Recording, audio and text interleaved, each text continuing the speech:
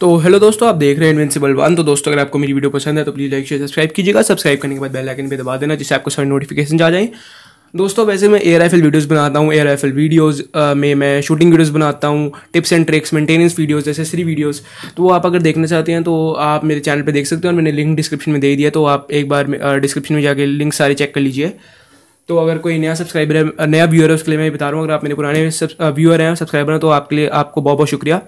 तो दोस्तों, आज मैं आपके लिए एक एयरगन एसेसरी लेके आया हूँ। ये एयरगन एसेसरी नहीं है, आपके दूसरे कामों में भी काम आएगी, पर मैं तो इसको एयरगन जब यूज़ करता हूँ तो उसमें ये मेरे बड़े काम आता है तो आपके भी कैसे काम आ सकता है तो चलो मैं आपको बताता हूँ। तो चलिए दोस्तों, शुरू करते हैं। तो दोस्तों, जब हम एयरगन लेके कहीं पे भी ज़्यादा शूटिंग कर रहे हैं तो सिर्फ़ एयरगन नहीं चाहिए होती, साथ में बड़ी सारी चीज़ें चाहिए होती, जैसे पेपर टारगेट्स टेप अपना पैलेट्स कोई कटर एक्सेट्रा एक्सेट्रा मतलब आपके हिसाब से आपके पास क्या नीड है, उसके हिसाब से आपके पास बड़ी सारी चीज़ें हो सकती हैं।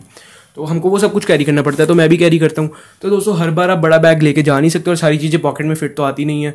तो उसके लिए ये मैंने आ, मैं ये नहीं कह रहा यही खरीदी है और ये तो मैंने लोकल मार्केट से खरीदा सिर्फ़ तीन सौ रुपये का है और ये छोटा बैग है जिसमें मैं अपनी एयर एफ़ की चीज़ें कैरी करता हूँ और इसमें एक दो चीज़ें कम ज़्यादा भी हो सकती हैं और आप अपने हिसाब से कुछ भी इसमें कैरी कर सकते हैं। इसको कैरी करने के लिए आपको एक नायलॉन की स्ट्रैप दी हुई है यहाँ पर जो आप अपने शोल्डर पर डाल सकते हैं और ये देखिए यहाँ से आप ये इसको खोल भी सकते हैं और जिपर्स भी अच्छे हैं और कलर भी काफ़ी अच्छा है इसका और इसमें दो जिपर्स हैं तो मैं आप अंदर क्या सामान है वो भी आपको दिखाता हूँ और आप यहाँ से भी इसको कैरी कर सकते हैं। ये हैंडल दिया हुआ है।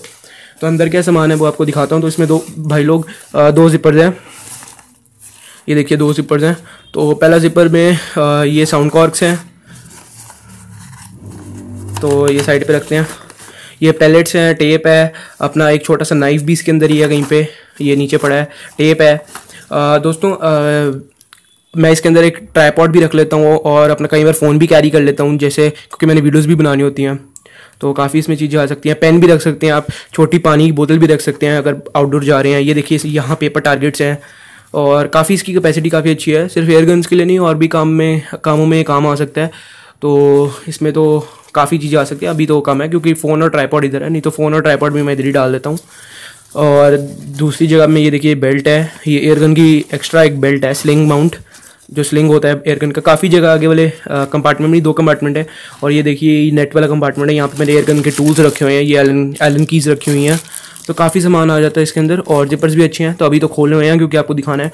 वैसे जिपर्स बंद रहते हैं और आप इसको आराम से अपने साइड पे कैरी कर सकते हैं। वेट भी ज़्यादा नहीं होता और आप एयरगन भी आराम से चला सकते हैं। तो दोस्तों, मैं आशा करता हूँ मेरी वीडियो को पसंद आए प्लीज़ लाइक शेयर सब्सक्राइब कीजिएगा। और देखने के लिए बहुत बहुत शुक्रिया दोस्तों। और अगर आपको नहीं पता तो मेरे पास दो एयर गन्स है, एक टॉमी वॉल थर्टी फाइव और एक आम स्पोर्ट्स तो उनकी वीडियोस मेरे चैनल पे भरी हुई हैं तो आप देख सकते हैं। तो बाय दोस्तों।